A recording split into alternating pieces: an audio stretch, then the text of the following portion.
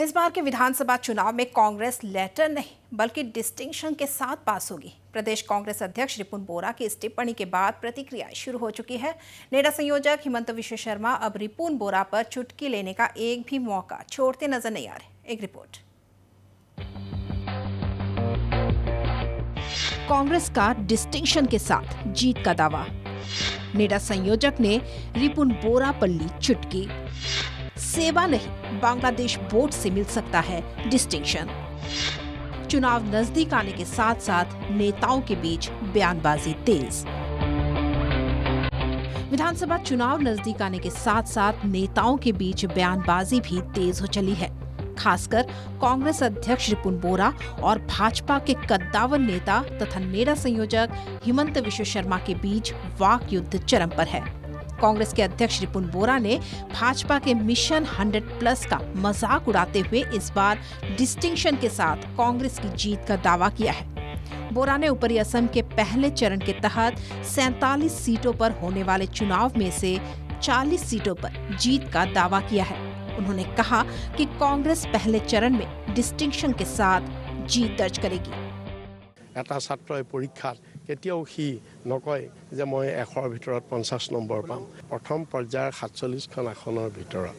আমি প্ৰায় আমি চল্লিছখনত আমাৰ মানে সম্পূৰ্ণ সম্ভাৱনা আছে। চল্লিছখনত লেটাৰটো থাকিলেই দেখোন চল্লিছৰ ভিতৰত সাতচল্লিছৰ ভিতৰত যদি চল্লিছ পায় এটা ডিষ্টিংশ্যন হৈ গ'ল। লেটাৰ হৈ গ'ল। वोरा की डिस्टिंक्शन से जीत दर्ज करने के दावे पर भाजपा के पूर्वोत्तर के चाणक्य कहे जाने वाले नेडा संयोजक डॉक्टर हिमंत विश्व शर्मा ने चुटकी ली। उन्होंने कहा कि कांग्रेस को डिस्टिंक्शन सेवा बोर्ड से नहीं, बल्कि बांग्लादेश के बोर्ड से मिलने वाली है। उन्होंने कहा कि बोरा जो सपना देख रहे हैं, वह असम में नहीं, बल्कि बांग्लादेश में ही पूरा हो सकता है। तो डिस्टिंक्शन पा खाली सेबात नए बांग्लादेशर बोर्ड ऑफ़ एग्जामिनेशन মুখ্যমন্ত্ৰী হোৱাৰ কাৰণে উপযুক্ত প্ৰাৰ্থী একদম মই ক'লোঁ নহয় বাংলাদেশত কেইবাখনো আহ, মানে তাতে গোটেইখিনি মানুহৰ মাজত আজমলৰ লগত লাগি তেওঁ মুখ্যমন্ত্ৰী হ'ব পাৰিবতো কোনোতো অসুবিধা নাই मौके पर उन्होंने एआईयूडीएफ सुप्रीमो मौलाना बदरुद्दीन अजमल पर भी जमकर हमला बोला उन्होंने कहा कि 2021 का चुनाव सभ्यता और संस्कृति की लड़ाई है अजमल की नेतृत्व वाली एआईयूडीएफ असम की सभ्यता और संस्कृति के लिए सबसे बड़ा खतरा है असम जैसे संवेदनशील राज्य के लोगों को एआईयूडीएफ के खिलाफ सभ्यता और संस्कृति की रक्षा की लड़ाई लड़नी चाहिए আজমল এবাৰ মানে ফেক্টৰ হ'ব পাৰে নেকি BJP ৰ আজমলটো সদায় ফেক্টৰ কাৰণ আজমলে আমাৰ সভ্যতা সংস্কৃতিক ধ্বংস কৰিব লাগি উঠিছে আজমল যেতিয়া কংগ্ৰেছ চৰকাৰ আছিল আজমলৰ বাহিনীয়ে বটদ্ৰৱা সত্ৰ দখল কৰিলে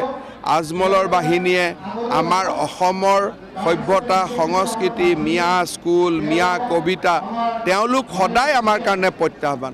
আৰু অসমৰ দৰে স্পৰ্শকাতৰ ৰাজ্য এখনত আজমলক কেতিয়াও লাইটলি ল'বই নালাগে।